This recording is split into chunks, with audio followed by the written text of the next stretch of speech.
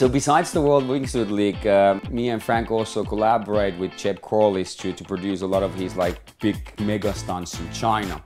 Me and Jeb go way back. Like we met back in I think it was 99.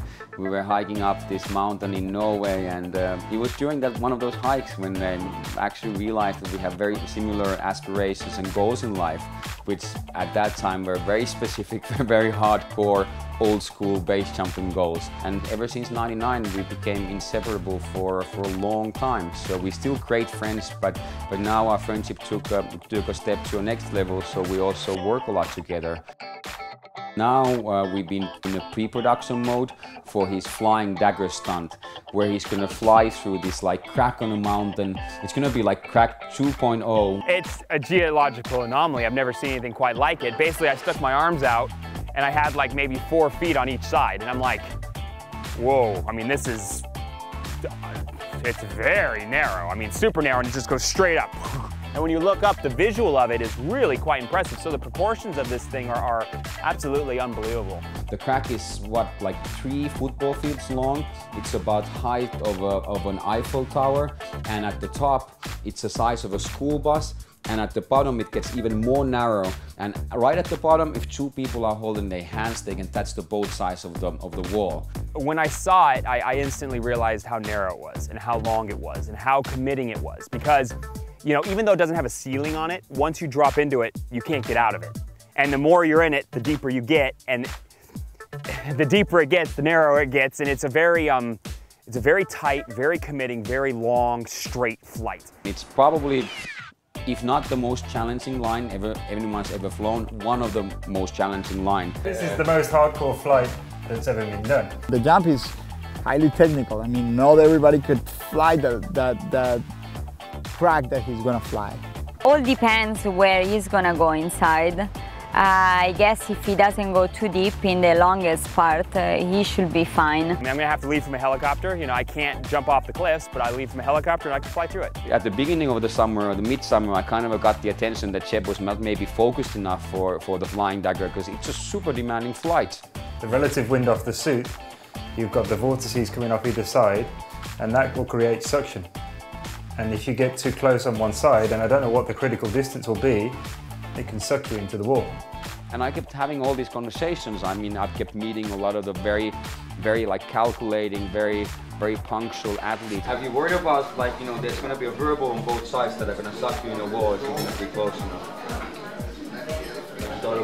And I started to get different reflections that, that it might have been even, even much more demanding than we were expecting. And, and then Jeb said, yeah, I'll be fine, fine, I'll just do, I get really current. And I got worried. But then when I showed up to Walenstadt, I met Jeb and, and he was clearly spot on and he was focused and, and, and he was going for it.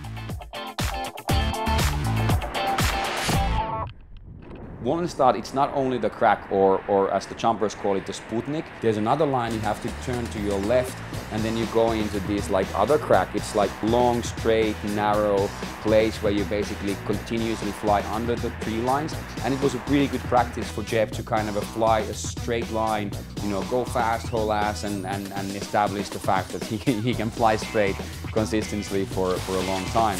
Hello. Hello. How you doing, buddy? Good. There's no question that it's about the same narrow as, as the flight we're gonna do. Oh, okay. It is super duper narrow and really, really long, so it's perfect. It's about as wide, you know, about the same width of what I'm gonna be flying when I get to China. Yeah, we're gonna be able to get it. Ah, super nice. And then as Jeb was practicing and flying that line, uh, just I think beginning of this summer, people started to fly even further out to the left, flying over this barn. Jeb published the footage on uh, social media and YouTube uh, a, a, couple of weeks ago, so so a lot of those flights uh, were practiced. When he showed me the footage, he was super stoked. Like a couple of the first times when he flew it, he was like so hyped and full of with natural high, and he was like, you know, dude, I didn't know if I could do it, dude, I was nearly died. I just flew over the barn. well done. You come over those houses, hello, and I'm like, and you can't come over them high. I said to the god of death, not today, my friend.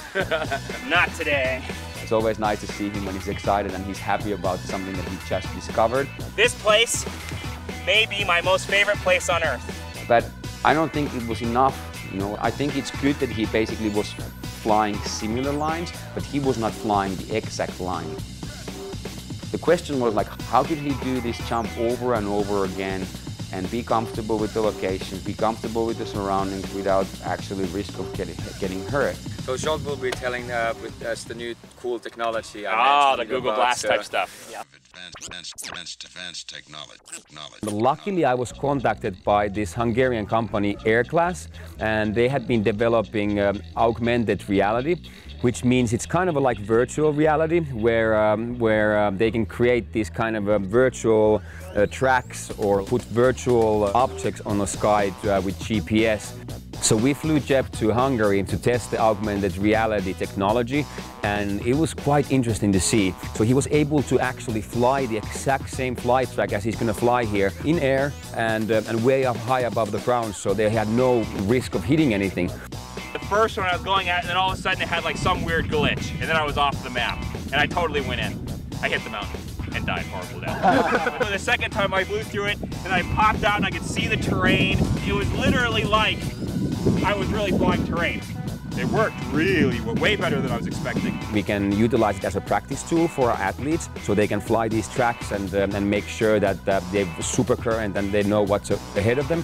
But also I think in the future there could be like, you know, competitive league. You know, people can even race different parts of the world at the same time and they can see these like, you know, amazing virtual tracks that they can fly through. This is probably going to be the most significant step we've done for the future and for the future of wingsuit racing. And I feel so privileged that I didn't smack against the mountain when I was base jumping 10 years ago, that I got to live to this point and, and, uh, and see where we go from here. We're always pushing the evolution, like, you know, we have to challenge, challenge ourselves to, to elevate to the next level. And that's what Jeb has been doing continuously throughout his career, constantly creating new, new challenges and new boundaries and, and, and overcoming them. It will be the gnarliest proximity wingsuit flying I've ever done. I mean, it will be, without a doubt the most difficult. So it's going to be very exciting.